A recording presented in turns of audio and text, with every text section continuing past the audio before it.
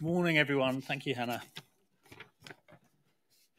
Um, I'm very honoured to be here with you this morning and for Jersey Water to have the opportunity to, to, sponsor the 2022 Jersey Farming Conference.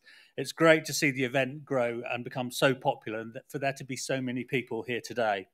It's a fantastic opportunity for the agricultural sector to come together, share best practice, and also meet the colleagues in, in, in other wider stakeholder groups such as Jersey Water, the government, and, and other sectors.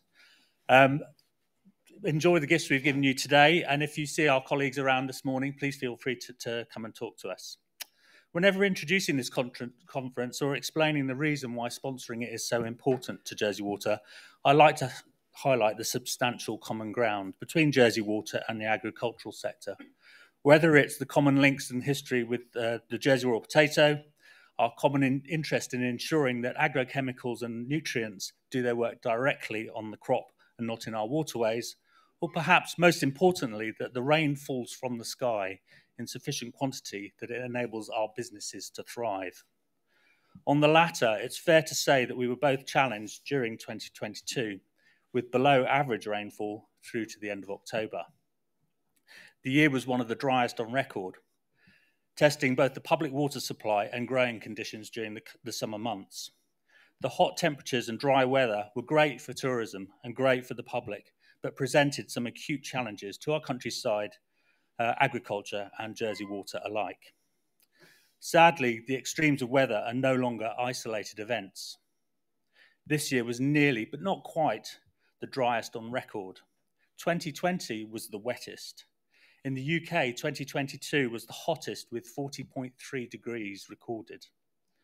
Record weather events are all the more frequent and can no longer be unexpected. So, what does that mean for us here today?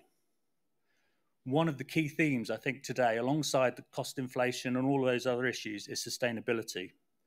The need for us to adapt and change is irrefutable. And we all have a duty to do what we can to help slow the pace of climate change, adapt our businesses to the effects that we're already seeing. Many of us are all already well on that journey.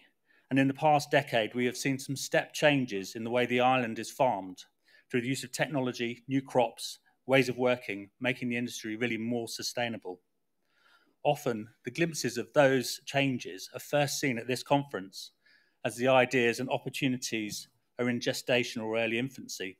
It's really fantastic to see them grow, and perhaps some of those new seeds will germinate today. Essential for our success as we adapt to climate change is working together ensuring that we have the end in mind and that adaptations of one group aren't to the detriment of another, but instead are designed to deliver the best outcome for the island. It is essential that we maintain the, the close working relationships that we are privileged, privileged to have in our small community.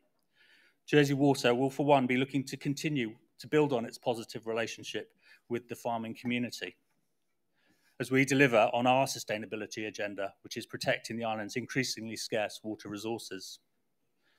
Before I sign off, I'd like to thank John Garton for continuing to invite Jersey Water to be the sponsor of this event. It really is important to us. And also thank you for laying on such a, such a fine event. So have a great day. Uh, we'll be around. So if you want to come and talk to us, that, that would be great. Uh, but thank you very much for the opportunity.